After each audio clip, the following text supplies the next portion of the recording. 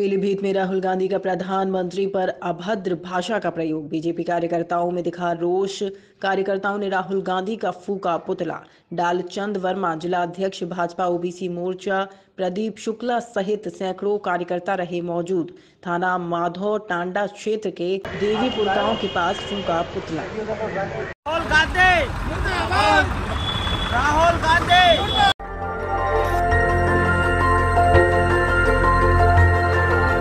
देखते रहिए डीवी भारती समाचार नज़र हर खबर पर।